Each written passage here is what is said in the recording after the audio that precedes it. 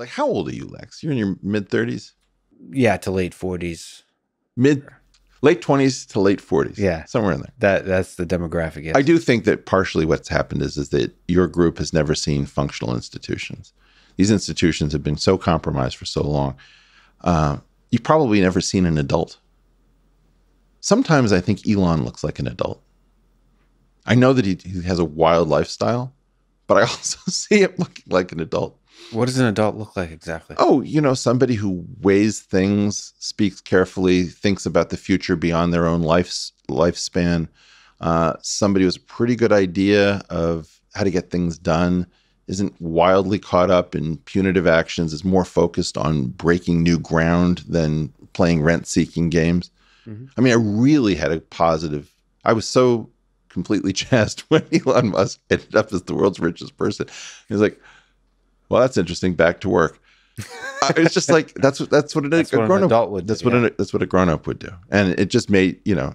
weirdly, I said something about, "Isn't it amazing that the world's richest person knows what a Lagrangian is?" And he made a terrible Lagrange joke about potentials, but yeah, I mean, I do think that ultimately Elon may be one of the closest things we have to an adult. And I can tell you that the internet hyenas will immediately descend as to what a fraudster he is for pumping his stock price, talking his book, and all this stuff.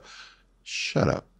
So looking at the world seriously and rigorously, you're saying that the people who are running tech companies or running the mediums on which we can exercise the ideal of free speech are not adults.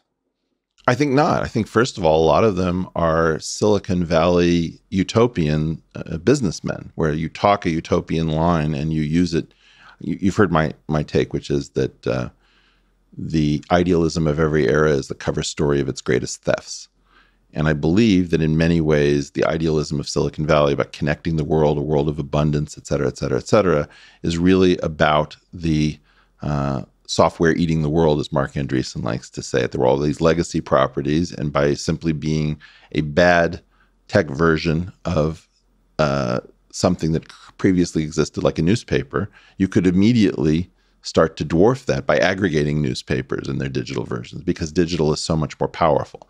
As a result, yes, we have lots of uh, man children um, wandering around uh, what once was the Bay Area and is now Austin and Miami and other places, um, maybe Singapore. That um, all of these people, that you know, these are friends of ours, and they're brilliant with respect to a certain amount of stuff, but none of them can get off the drip. It's amazing that none of them have FU money. We've got billionaires who don't have FU money. Okay. I think the argument used by Jack Dorsey was that there was an incitement of violence, and not just Jack Dorsey, but everybody uh, that was banning people.